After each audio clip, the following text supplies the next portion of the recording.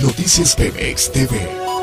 Mi nombre es Leandro Flores, soy dirigente estudiantil de la Universidad Católica del Táchira, estudiante de segundo año eh, por readmisión. Tengo expediente en esta universidad y se me ha negado mi derecho a, la inscripción por un problema en la, solvencia, en la solvencia académica, que fue un problema que escapa totalmente de mis manos, así como escapa también de las manos de, los encargados o los competentes para solventar este problema en el sistema de la, de la, universidad.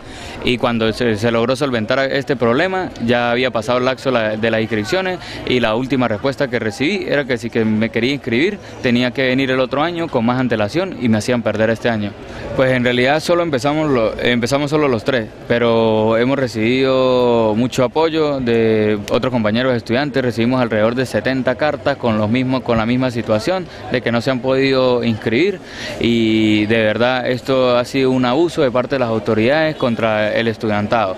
Eh, el día de hoy todavía hay inscripciones cómo es posible de que nosotros no, no nos solventen nuestra situación.